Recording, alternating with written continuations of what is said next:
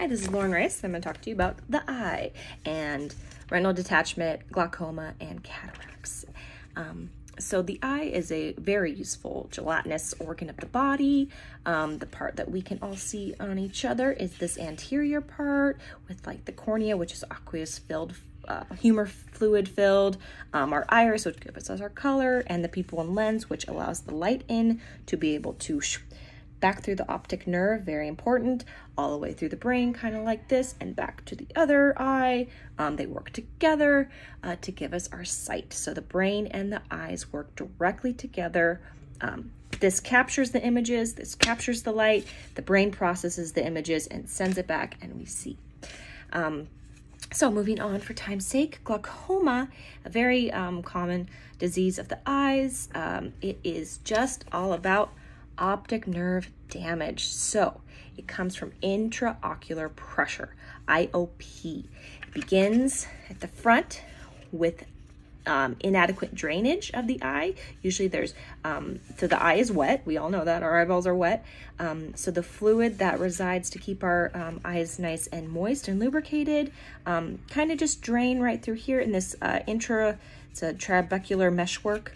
Um, or through tears, uh, but it's just maintained. And when there's the drainage is not uh, adequate, if something's wrong with here, um, depending on the type of glaucoma you have, there are several different types. Um, they all result in this build up, buildup, buildup, buildup of pressure and pushing and intra and the optic nerve being um, being damaged due to this pressure buildup.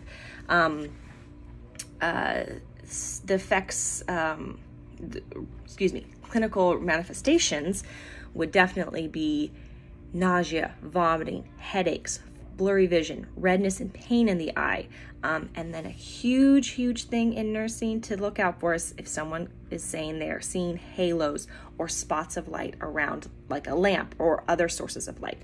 Halos is a big ticket um, to for glaucoma or cataracts. Um, something to do, something's going on with your eyes, something's going on with neuro.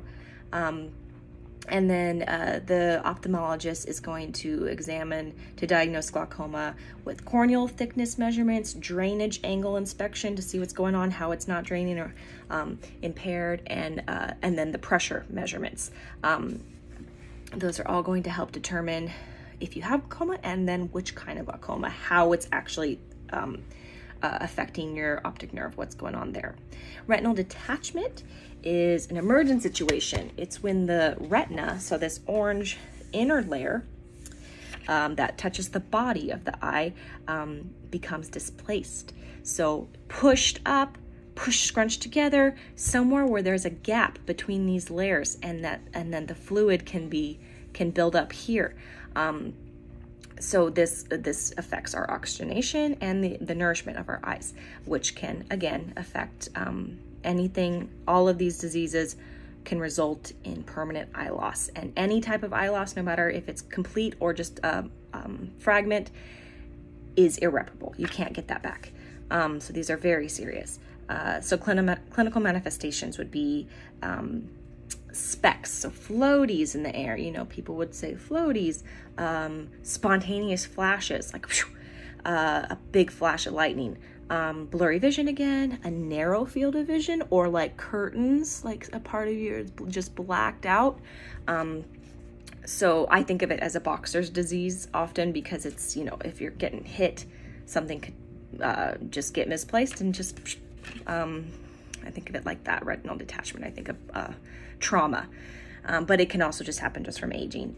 Um, and then uh, a retinal exam is, will diagnose it uh, to see if there is, in fact, a displacement. Um, and if there is trauma, like there is blood, uh, that's how you can do an ultrasound on the eye, which I found very interesting. Um, cataracts is the cloudy, the cloudy eyes, those blue eyes, the gray eyes that we see, um, usually in older people. Although it can come from chronic diseases like diabetes uh, or trauma. Um, the uh, so the lens is impaired. So this lens, very important how we process the light. So if it fogs up, your vision is impaired, blurry, um, you have difficulty seeing at night, especially because there's not a lot of light coming in, so that makes it even more difficult. Um, sensitivity to light, fading color, double vision, and again, halos. Um, so the ophthalmologist will do retinal exam, visual acuity test, which is the, the normal eye exam we all get, um, a slit lamp exam, which allows you to see just that interior so he can really, really, he or she can really, really thoroughly expect that, examine that lens to see if it is cataracts. Um, and treatment for glaucoma is usually found in eye drops. So lots of different kinds. There's beta blockers, which reduce the fluid production, prostaglandins, which increase the outflow of the intraocular fluid. So it kind of just pushes it out so you're draining. Tears is better than pressure, I guess.